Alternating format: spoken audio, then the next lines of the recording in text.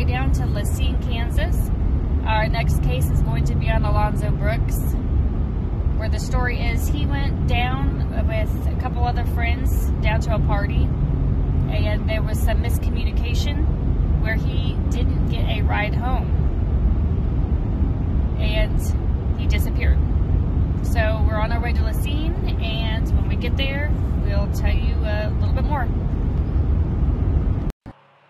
So we're here in La Cygne, Kansas, Heather and I, and like I said on the way down here, Alonzo Brooks. He came down here with three friends. There was Justin, who he rode with, and there was a Tyler and a Daniel in a separate car.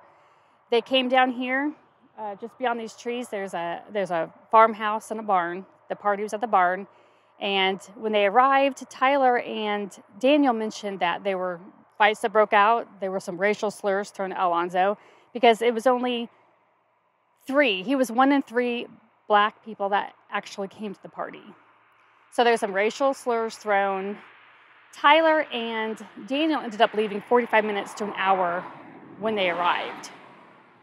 And Justin, he decided to go get some cigarettes. They were out of cigarettes, and Alonzo knew he was leaving. So him and a friend, who I don't know the name, him and a friend left to go get some cigarettes, and he ended up in a ditch. He was high, drunk, and went to a ditch, got lost, and got into a ditch. Justin um, has had said that he later on that night pulled out $200 out of the ATM, ended up at a strip club, and he was kicked out.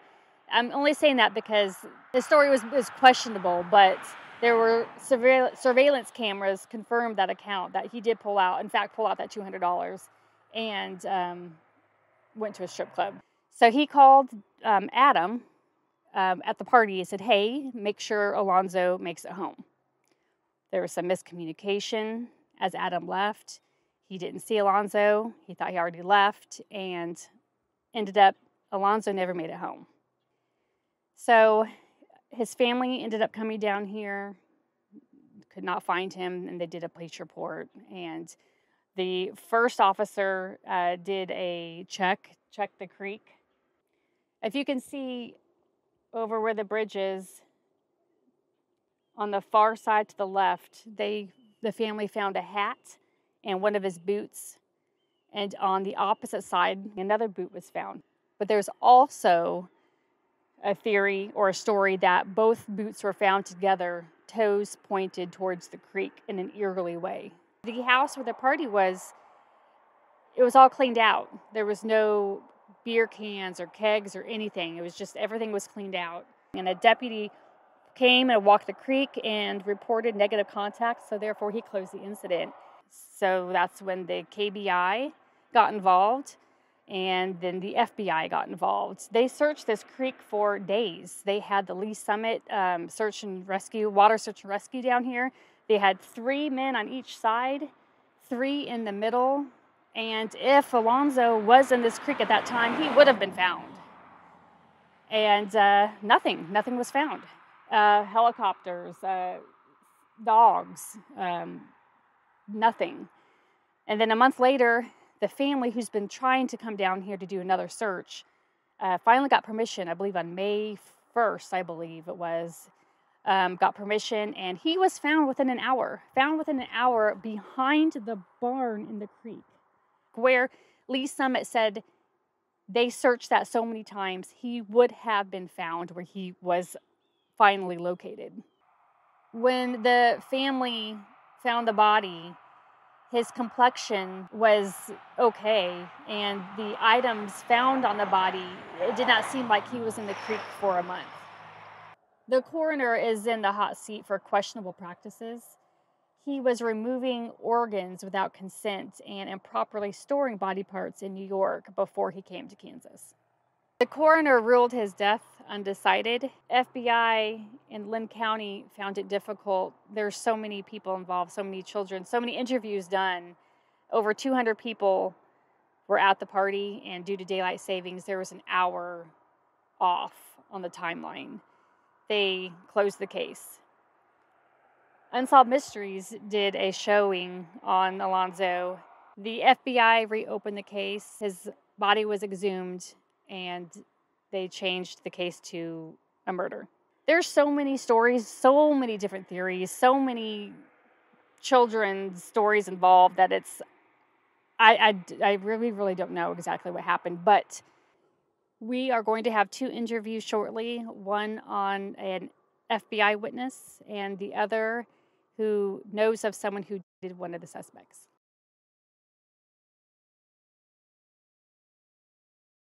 What started was an issue at the party, and it really wasn't the party, it was after the party that all this was initiated the brothers didn't go to the party. None of them did.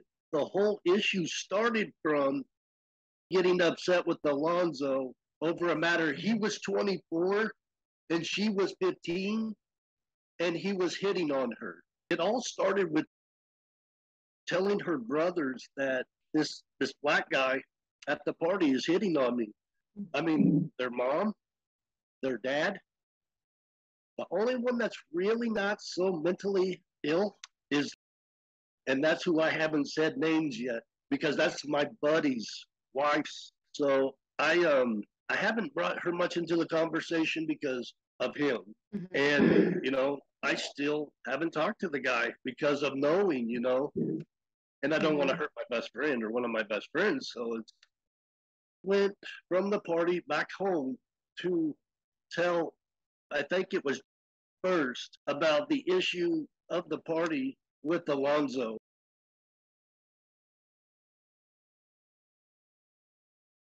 There wasn't really much there, guys. There normally most people would have said, Hey, no big deal, you know, it's a 24 year old guy that's just hitting on someone because she's there.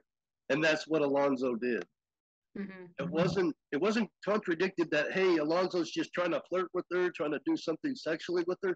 That was never established in this situation. And so it went from that where after at 1.30, 1.30 in the morning, and the dialogue was they couldn't they couldn't do something until later to approach Alonzo. So this is why it didn't happen until after 3 a.m. in the morning. You know that they arrived at the house. They drove into his truck, drove into his car. He was going to, you know, try to scare Alonzo at first, but then the, it transitioned to just going after him and approaching him. And, you know, they caught him from behind and hit him first and pushed him like he was because they caught they caught him and got behind Alonzo and held him so could hit him. He hit him, you know, just once or twice and then let him go.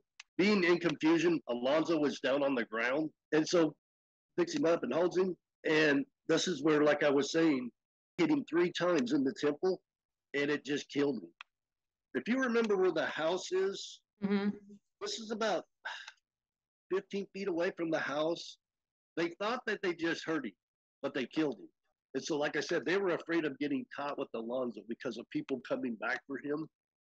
So they put him in truck, and um, they decide to take him back to the the barn. He um, decided, I guess, right then and there, that he was going to do something with Alonzo to put him in the, the, the white refrigerator because the family had not been using the uh, refrigerator for anything. The um, refrigerator was somewhere in the barn. I, I can't tell you guys because it was not discussed. They talked about a few things about take, wanting to take him out of state. It went on for, I guess, you know, at least two days just for them to decide or do something more with what they were going to do, you know, to transport his body out of state to take it somewhere so it couldn't be found or, you know, they're going to bury it or whatnot. I mean, I, I can remember him saying was too upset that he was going to do something with the body or get caught with it. And the whole um, time, they're just thinking about what they can do to keep it hush hush and not to give it out as far as, you know, hey, they did something because Alonzo, these people are looking for Alonzo, you know, this by now, because Alonzo's families came down to the uh, the house to, to look for him, and the um, whole time that Saturday and Sunday they were still looking for him. I told people literally all along that what happened to Alonzo did not happen at that party. It happened about 3, 4 a.m. in the morning. But after they they decide to leave Alonzo in the cooler the, on the 28th day, the 27th day, it was between 2 to 4 in the morning. The cops were not watching the house that they took him out there. And so I had a cousin that was talking about the issue about them three weeks, three weeks after it happened, Alonzo went uh, missing. My own cousin is the police chief of every um, person that I've ever talked about this to. They've said the same thing direct. My own family even said it, you know, that live in that mm-hmm. area. They were supposed to be acting normal, but they were acting suspicious at the same time. And you could just tell. I mean, if you ever, if, if you ever watched them behave, you know, while that time was elapsing, you could see that these people were acting out. I, I, I think what really threw them into the hateful mode was the fact that Lonzo was black. And I, I told that to the FBI. I said directly, this is where it came from. We need to do something about this. And they planned the attack. And so that's where it started. That's where it came from. If if Alonzo had been a 24 year old white kid, would they have acted would would they have wanted to have attacked him? And, and see, this was the whole subject at that party was the fact of the subject being, if Alonzo was white, there wouldn't have been something there to contradict the mental illness because they, they, did, they just didn't like black people. There's only so many people in that area that are that were black uh, in that area. Yeah, he um, stated with his associates, "I hate that damn." Uh, you know, I've been, I'll, I'll, like I said, I said in my email, you know, I hate this mother, you know, just because he was mm-hmm. just so mentally ill. So Alonzo was at the party so long. well, the party's over, but is he there now by himself at the house? Uh huh. Yeah, he was there all that time. There was okay. only a few people that were coming and going because what happened was there was a second party. And what they would do, they would come back to this party and the Alonzo say, Hey, there's no one here and they would just take off for the second party. Uh. So he was there. He was there all that night, all that time, with no one there. And uh, and like Justin said, at eleven o'clock he called Alonzo, and he said that he was fine. There was no discrepancy in his behavior. He was happy. He was singing. He was doing all these things that would normally happen at a party. Right. I just and, feel so bad that he would have been so alone. Exactly, exactly. And if he, if he could walk out of the place, he could. I the, the, the FBI agent that I talked to, that was Lena. They were looking into so many things surrounding, you know, the um, investigation. And but the fact is, these guys were the same thing that they said in that restaurant that night back in 1996, 1995 about we're so bad around here, we can get away with a murder. And they quoted that in that restaurant that night that such and such can get away with the murder. And they were right. They've gotten away with Alonzo's murder.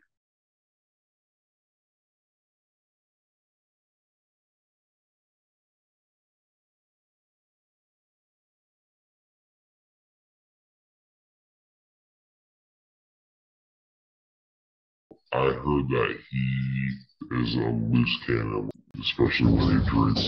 And I believe he already has several cases just in destruction of property. And this and this is just um, one of the people that um, is a so-called suspect. Yeah. And also, I was recently told that he bought and sold the warehouse within the same year around that same area. And like, when he was asked like what he did with it, he just was nothing. He just sold it. So he just had a warehouse and did supposedly nothing with it. Yeah. Mm-hmm. Said that he told a story about when they were drinking and he got into a fight and it was several people beating up a specific guy. He just said that they basically all ganged up several guys beating up one guy in La Cygne.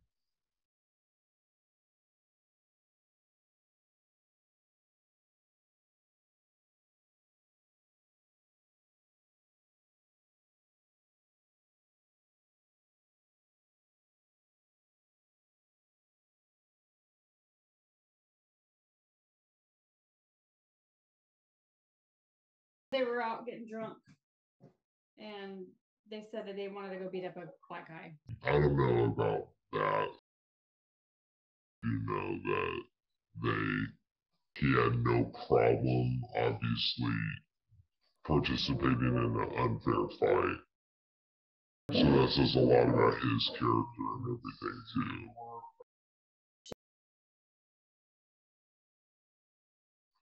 Yes, as far as motives go, apparently this guy had a girlfriend back in high school age and he was in love with her. She had a child six months after.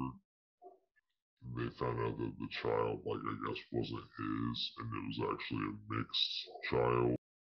So he was upset about that. Yeah. So this, uh, the person that you know of that knows the suspect, um, I heard that this person was threatened. Is that correct? Uh, yes, the person who was telling me all of this information about um, the suspect was threatened by, by him. And threatened, and specifically, I said, I would kill you, and I have nowhere to put you. And, uh, and that, yeah. That's all. I don't want to say more. So I was thinking, I've been thinking about this. First of all, this case, I didn't want to say, has been bothering me. I'm sure, I, maybe I've said this many times about the others, but this one's bothered me since day one. I remember when it happened. I remember being at work thinking about it, and I just remember thinking the whole freaking thing's odd to be missing for a month. But I think there's so many rumors, there's so many stories, there's so many children at the time. I won't say children that you know rumors going to spread. I think it's simple. I think there was a group of guys. I think they went drinking um, at a bar, and due to um, Alonzo being left at the party, I think they were coming, and they ran into him. So Alonzo was a victim of having friends that didn't make sure he made it home properly. So I'm, not saying they were bad friends, but honestly, um, I don't think white people understand that black people coming down to a to an area, a, a country area, and this has happened more than just with Alonzo, and you don't realize who all these people are. I mean, I don't know how to explain this, but we don't see the racism as much as they do because they live it every day. So I don't think that they were aware of the danger that Alonzo was in, is what I'm saying. So to them, it's just, oops, you know, I left him, you know. But they really should have made sure that their friend made it home. And I, I think he's a victim of being black, and he's a victim of having friends that just didn't get it. So um, I think that La Cygne, sorry to say, has a lot of racist people in it. That's just, I'm sorry. I'm not trying to hurt anyone's feelings down there. But especially after this, I wouldn't you're- worry you're- about hurting their feelings. They're choosing to live there. I mean, if you knew li- you lived in a community that Ah, was racist, y- you're choosing to live there. You can move away. Yeah, and I was gonna say it's time for someone in La Cygne. I know a lot of people probably know the story to step up because if you don't want to be known as a racist town, as a sundown town, it's time to step up and tell the story. I mean, honestly, just just come forward. And I it. know there's been stories that people have said "Uh, it's not. I don't. I'm not aware of there being racist, or it's not racist. Well, you know, maybe you you either don't see it, uh, you're turning a blind eye. uh, Maybe you don't see it because you're not black, or just because you personally haven't heard the N word or, you know, jokes or people act that way, that doesn't mean it happens. I mean, And I don't believe you haven't witnessed that in La Cygne. I think you you hear that a lot and probably La Cygne. So mean, yeah, I think it's simple. I think they were a group of racist, good old boys that went out and got drunk, came home. Lonzo was black. They beat the shit out of him. They might not have went, wanted to go that far, but a bunch of guys together being drunk, they took it too far. And I think there's more people involved. I don't know names, obviously. I think there's higher up people that might have been involved, but Alonzo was simply waiting for a ride. If he was outside when they ambushed him, it was because he was waiting for. Yeah, I don't know what it would feel like either to be abandoned, wonder where everybody is, knowing you're stuck. He's got a hurt leg. There's no, there's nothing that he could have done about it except sitting there waiting. Where are my friends? who abandoned me. And obviously, he didn't look too hard if. Oh, I, I didn't. How do you not see him? It's. Just, I mean, How Oh, do you not see the your friend? the driveway is so long. I noticed too. That I don't even think maybe the parents or um, a lot of people probably didn't hear it happen because it's so desolate there, and the driveway is so long. You could just been like a ways down from the barn and done it easily. Yeah, I mean- I get it, but it's not like that. That house, it's it's literally you can see the town. So when people say it's out there, it's not out there that far. Not think- from the town. not from the town. I I, mean, just it's a small I think town. La Cygne is out there, but not like the town. Not like Yeah, no. it's not that far. You can see There, the there's town. just from- right down the road. There's a little cafe. When we were filming our section, you can see the town from our section, and we're hundred yards um, east of the Mhm. of the farm. And the reason we had to film there is because we were bothered by the townspeople. Just because we were filming at that location, because the only reason you're filming at that location is because you're covering the Alonzo Brooks. People knew what we were doing there, mm-hmm. and we were the drive by the sh- the drive the people driving by and then slowing down the heckling. the heckling. I mean, it took us two days to film five minutes. Two days for five minutes because of the fact that that is how we were treated at La Cygne. And then once the Linn County Sheriff drove by, we were like, okay, we're and we're done. We're done because this this is just ridiculous. Ridiculous and you guys live there and you can step up and say why not we live in a city with 700 unsolved homicides and we're saying it's enough and this is a city with tons and tons of people and you live in a town with 2000 And have one. Oh, I don't know. Maybe there's up. so. step Don't up think you want to think of your town as disgusting, but it's disgusting. So, so hundred thousand dollars to lead up to the arrest of uh, whoever's responsible for this. Please share. Please um, hit that button. Subscribe. Subscribe to us, please, and keep sharing because uh, that's the only thing that's going to get people talking.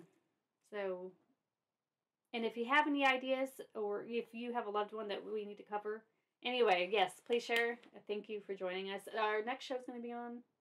the um on the serial killer Richard Grissom There's still three missing. there's three Women. missing women yes Join us for our next show. Bye. thanks bye